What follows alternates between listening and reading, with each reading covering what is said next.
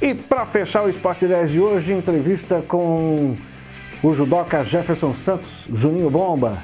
Essa entrevista que aconteceu em 2017, quando ele estava acessando aí os mundiais. Olha, parabéns aí, Juninho, a gente torce muito por você. Um abraço ao pai, o sensei Jefferson Santos aí, grande apoiador. A gente conseguiu pegar. Juninho é outro cara que viaja muito. Na época estava viajando bastante, mas a gente conseguiu segurar ele e ter esse privilégio de fazer essa entrevista. E você vai rever isso agora. Foi ao ar em 2017, aqui no Sport 10. Juninho, você já teve aí quatro lutas importantíssimas que colocou você à frente do ranking para disputar o Pan-Americano e o Mundial, né? Conta pra gente dessas lutas, do seu desempenho. Desde o ano passado, na seletiva nacional, eu consegui a minha classificação para o circuito mundial, né? E, e a partir desse ano eu comecei a viajar, comecei a competir para mim pontuar no ranking nacional para me disputar o Campeonato Pan-Americano e o Campeonato Mundial, né? Daí aqui tá aqui a, as medalhas que eu consegui conquistar no decorrer do ano aqui. Vamos conhecer cada uma delas agora no Sport 10. Essa daqui é a primeira medalha, daqui é do European Cup de Portugal, onde eu me sagrei campeão em Coimbra. Essa daqui é do Brasileiro Regional Sul, que eu conquistei em Caxias do Sul esse ano.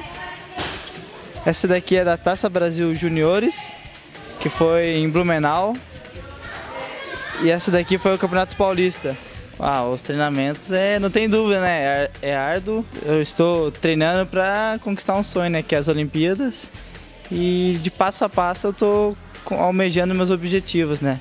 Esse ano eu almejo o Campeonato Pan-Americano Campeonato Mundial.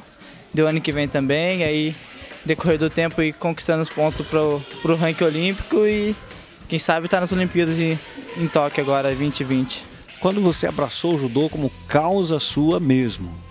Ah, eu abracei a partir de 2012, né? Quando eu participei do meu primeiro campeonato pan-americano.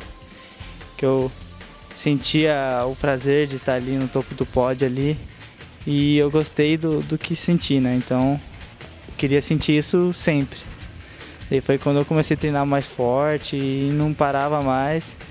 Começou a subir nos pódios, a vontade só aumentava, cada dia, cada treino mais aumenta. O incentivo dos pais, para mim, é tudo, né? Eu, como professor, observo que muitos pais não, não incentivam seus filhos, acham que tudo cai do céu, né?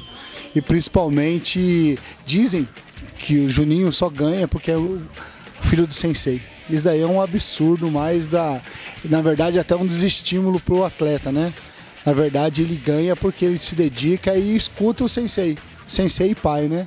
Então é, é bem legal essas vitórias que ele está conseguindo e, e mostra para as crianças também a importância da dedicação, né? Ele, todos eles veem a dedicação que o Juninho tem.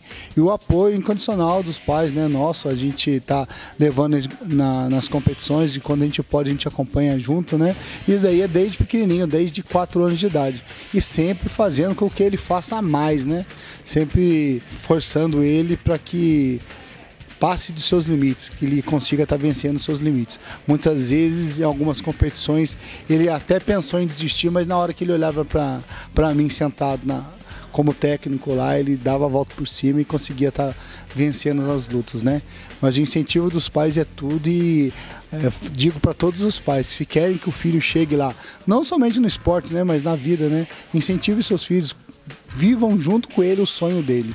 Eu, eu agradeço por cada torcida, né? Por cada, cada pessoa que entra na minha vida, que eu, eu acho que a pessoa entra para agregar sempre, né? Sempre para ajudar e eu agradeço muito porque de, um, de uma maneira ou de outra estão me ajudando. O mínimo que seja, estão me fazendo crescer, estão me ajudando e é isso. Treine, treine firme que o objetivo é certo.